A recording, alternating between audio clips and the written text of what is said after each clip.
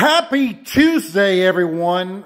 Everything is about process. Here we have DJ James uh, just spraying some water into our concrete, which has been prepped and ready to go. We are in the texturing phase of our very popular Woodcrete finish, and this thing is going to be epic.